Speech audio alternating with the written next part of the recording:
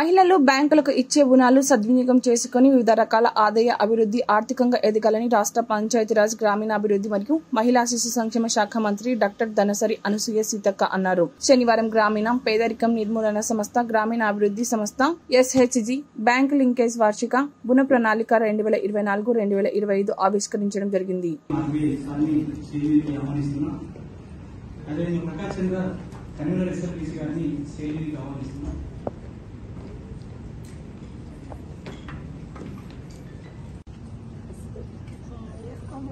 నేను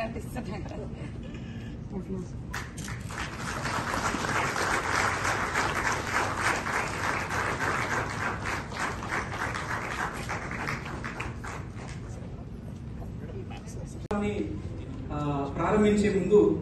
lighting app land జ్యోతి ప్రజ్వలన కార్యక్రమాన్ని ఆ, వేదిక మీద ఉన్నటువంటి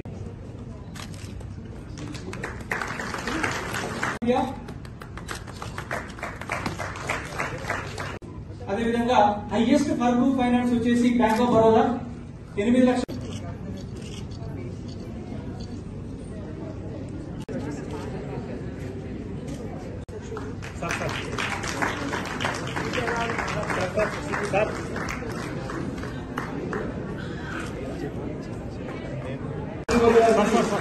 గ్రామీణాభివృద్ధి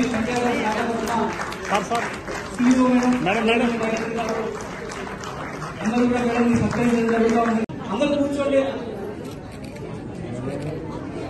సార్ ఒక్క నిమిషం హలో